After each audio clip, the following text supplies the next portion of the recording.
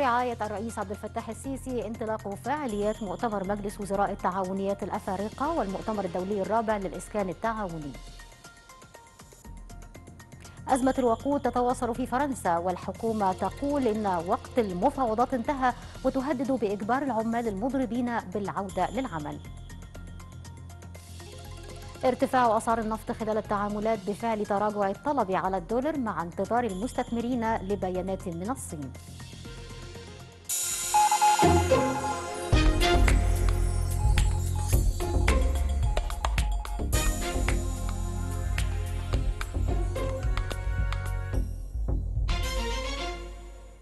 نشرة اقتصادية مفصلة أهلا بكم. انطلقت فعاليات مؤتمر مجلس الوزراء التعاونيات الأفارقة والمؤتمر الدولي الرابع للإسكان التعاوني تحت رعاية الرئيس عبد الفتاح السيسي. يعقد المؤتمر تحت عنوان معا لتنمية إفريقيا وتشمل جلساته ورش عمل وندوات ومحاضرات وعرض نماذج من التجارب والمشروعات التعاونية الناجحة في مصر والوطن العربي وإفريقيا والعالم وإجراء مناقشات تفاعلية حولها.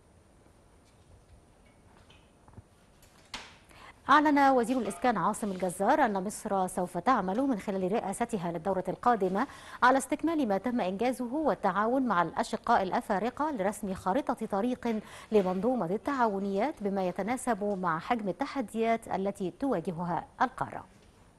سوف تعمل مصر خلال رئاستها للدورة القادمة على استكمال ما تم إنجازه والتعاون مع جميع الأشقاء لرسم خارطة طريق لمنظومة التعاونيات بالقارة الأفريقية بما يتناسب مع حجم التحديات الحالية التي تواجهها ولتحقيق ما تصبو إليه الحركة التعاونية الأفريقية من طموحات تعزز من قدراتها على المساهمة في تنفيذ مخططات التنمية المجتمعية والاقتصادية لقاراتنا العظيمة. كما أشار الجزار إلى أن المؤتمر ينعقد في توقيت يشهد فيه العالم الكثير من التحديات سياسية واقتصادية بالغة الصعوبة والتي أثرت على جميع دول العالم. الأمر الذي يدفعنا إلى التعاون مع الأشقاء الأفارقة. إن هذا المؤتمر ينعقد في توقيت يشهد فيه العالم الكثير من التحديات السياسية والاقتصادية بالغة الدقة والصعوبة والتي أثرت بشكل كبير على معدلات التنمية لدى كثير من دول العالم وخاصة في القارة الأفريقية. إن تحديات المرحلة تدفعنا إلى تعزيز التعاون الأفريقي المشترك عبر العديد من المبادرات التي تهدف إلى إيجاد حلول فعالة ومبتكرة حيث نستطيع تجاوز صعوبة الظروف الحالية عبر آليات فعالة وأهداف طموحة تحقق تطلعات شعوب القارة. وفي هذا الصدد تقوم جمهورية مصر العربية حاليا بمد يد العون لجميع الدول الأفريقية الشقيقة والصديقة من خلال بروتوكولات تعاون في العديد من مجالات التنمية كما تساهم في تنفيذ مشروعات البنية التحتية والشبكات الحديثة للطرق والكباري والأنفاق والمحطات العملاقة لتوليد الطاقة والذي تهدف إلى تحقيق التنمية الشاملة والمستدامة في جميع أنحاء القارة. وخلال المؤتمر أوضح رئيس الهيئة العامة لتعاونيات البناء والإسكان حسام الدين مصطفى رزق أوضح أن الهيئة تعمل على عدة محاور مبتكرة لتعظيم دور منظومة الإسكان التعاوني في التنمية العمرانية. فقد عملت الهيئة العامة لتعاونيات البناء والإسكان في عدة محاور مبتكرة تهدف إلى تعظيم دور منظومة الإسكان التعاوني المساهمة في تنفيذ مخططات التنمية العمرانية في مصر. فقد أحد المحاور إنشاء مشروعات تعاونية استثمارية يتم من خلالها دعم سعر الوحدات التعاونية من عائد بيع العناصر الاستثمارية. ومحور آخر هو إنشاء مجمعات عصرية للإسكان التعاوني بالمدن الجديدة حيث يتم تقوم الهيئة بالتخطيط والتصميم وتوصيل المرافق الرئيسية إلى الأراضي وتسليم هذه الأراضي إلى جمعيات الإسكان التعاوني لإنشاء مشروعاتها عليها. أكد وزير البترول طارق الملا التزام مصر وجاهزيتها لضخ الغاز الطبيعي إلى لبنان فور استكمال الإجراءات المرتبطة بالبدء في تصدير الغاز المصري واستقباله بالأراضي اللبنانية. وخلال استقباله وزير الطاقة والمياه اللبناني وليد فياض أكد الملا استعداد مصر الدائم لتقديم كافة أوجه الدعم والمعاونات والخبرة للأشقاء في لبنان في مختلف الأنشطة. من جانبه وجه الوزير اللبناني الشكر لمصر على موقفها المساند دوما للدولة اللبنانية. أكد وزير الدولة للإنتاج الحربي محمد صلاح الدين أن الوزارة تعمل على تعميق التصنيع المحلي الاستراتيجي. جاء ذلك خلال مشاركة الوزير ورئيس الهيئة العربية للتصنيع في احتفالية افتتاح الشركة العربية الألمانية للوحات المرورية المؤمنة التي تعد إحدى الشركات الجديدة بالعربية للتصنيع.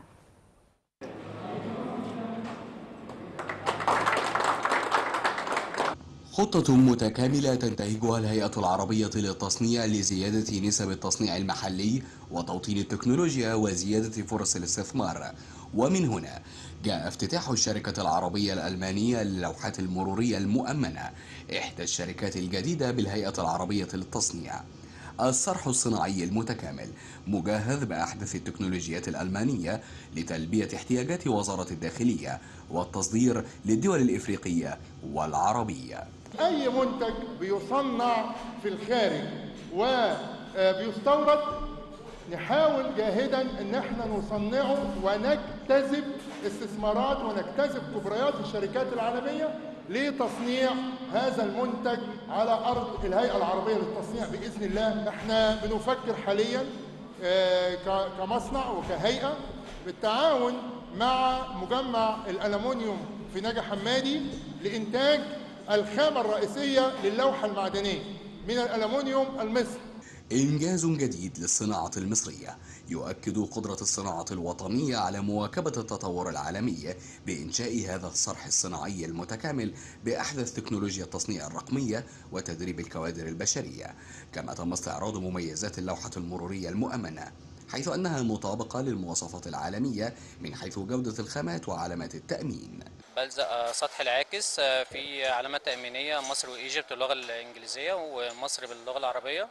بعد كده بتدخل في المرحلة مر- بيطبع علامة الهولوجرام تحتوي على 13 علامة تأمينية. بعدها بتدخل في المرحلة الأخيرة أو قبل الأخيرة اللي هي مرحلة القاطع. بال- بتبتدي تطبع كلمة مصر و Egypt آه، تبقى بحروف بارزة رقم الاسم بارز. وختم تأميني في ظهر اللوحة باسم بكود المصنع. بيجي لنا على الشاشة على يوم اس تمام؟ اللوحة كاملة مكتوب فيها الأرقام والحروف.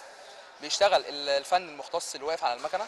الماكينه بي- بيتم طبع الحروف والأرقام الموضحة امامه على الشاشة. بي- بيبدأ كبس ال- اللوحة يدويا. بعدها في المرحله الثانية اللي هي ال- ال foil الأسود يتم طبع اللوحة ال foil الأسود الحدود اللي بره أو كلمة Egypt ومصر اللغة العربية والإنجليزية يتم طبعها باللون الأسود.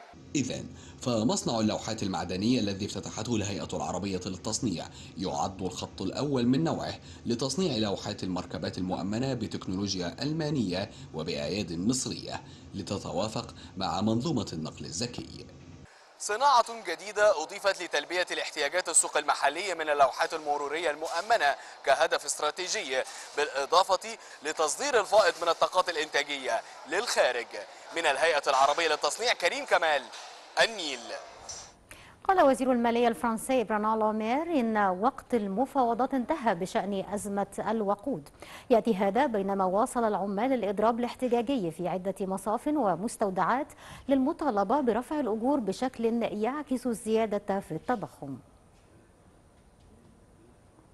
كانت رئيسة الوزراء الفرنسية إليزابيث بورن قد حذرت عمال قطاع النفط المضربين من أن الحكومة قد تستخدم مجددا الصلاحيات التي تخولها لإجبارهم على العودة إلى العمل لتخفيف شح الوقود الناجم عن تحركهم.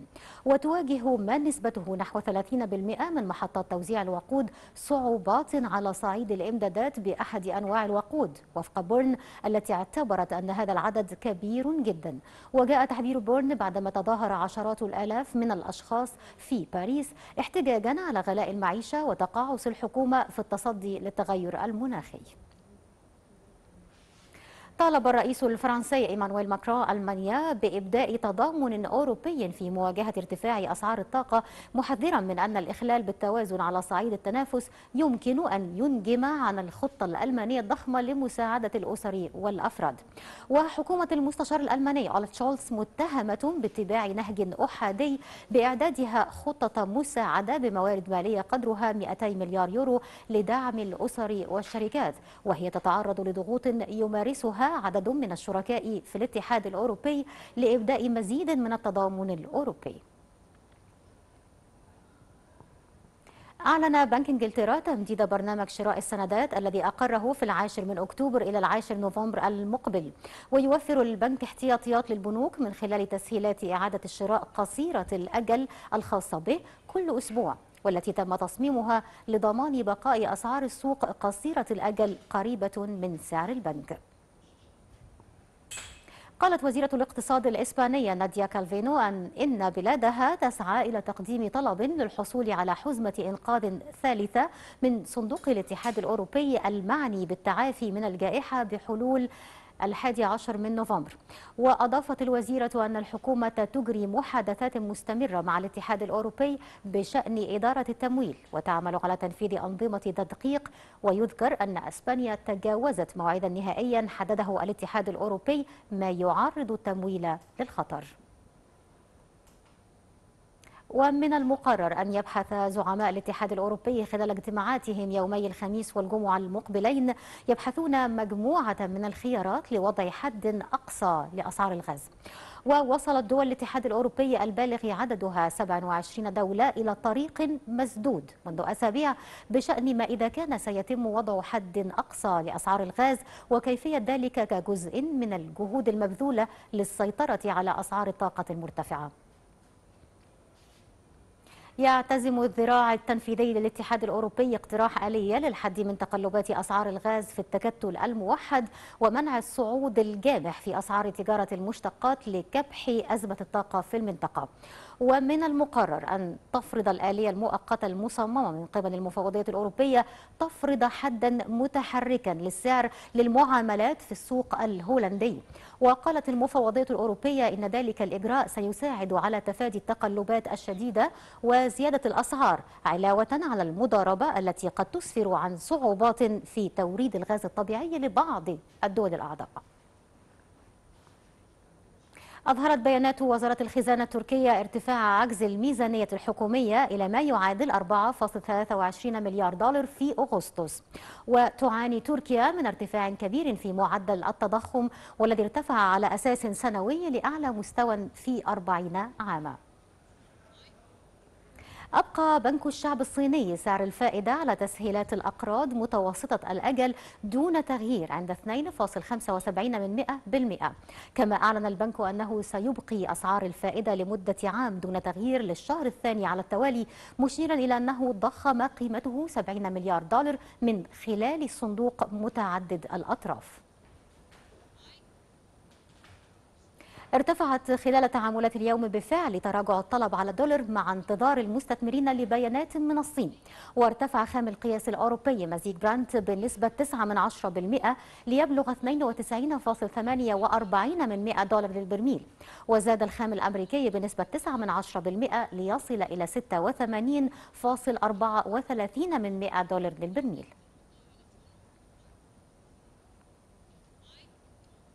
في أسواق المعادن النفيسة ارتفعت أسعار الذهب مدعومة بعمليات شراء بعد الانخفاض الحاد الذي شهدته الأسعار في الجلسة السابقة.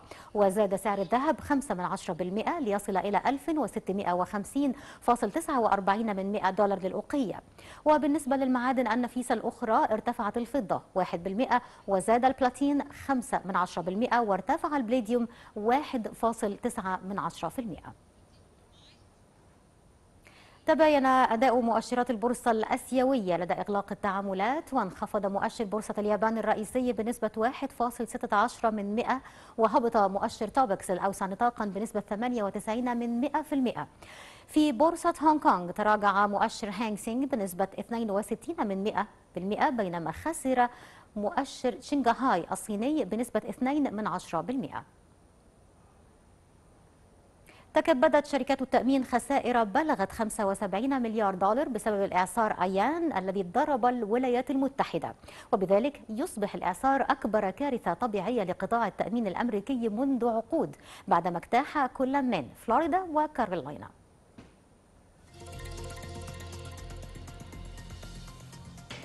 ختام أخبارنا الاقتصادية ولم يتبقى سوى التذكير بأهم ما جاء في هذه النشرة من عناوين. تحت رعاية الرئيس عبد الفتاح السيسي انطلاق فعاليات مؤتمر مجلس وزراء التعاونيات الأفارقة والمؤتمر الدولي الرابع للإسكان التعاوني. أزمة الوقود تتواصل في فرنسا والحكومة تقول إن وقت المفاوضات انتهى وتهدد بإجبار العمال المضربين بالعودة للعمل.